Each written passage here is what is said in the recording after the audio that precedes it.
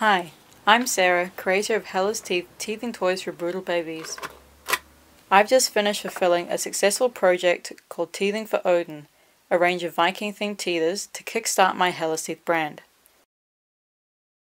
They are safe, BPA, phthalate lead, PVC free, certifiably non toxic silicone teethers designed with maximum soothing power in mind.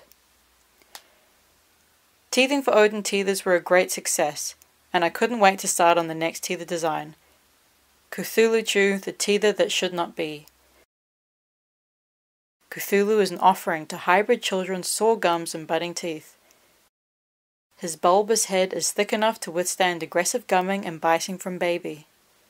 His tentacled face provides an uneven surface for frontal sore gums and budding teeth, and his wings, as well as preventing him from venturing down baby's throat, double as molar chews in later teething stages.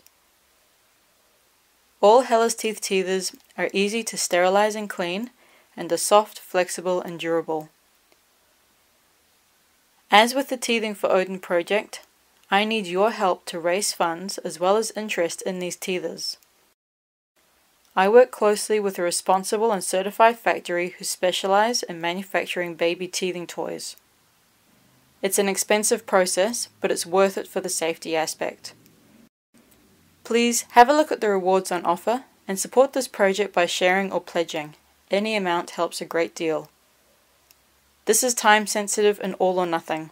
If we do not reach our funding goal by the given date, we can't produce Cthulhu Chew, and hybrid offspring all over the world will continue to suffer teething pain. Thank you so much for watching.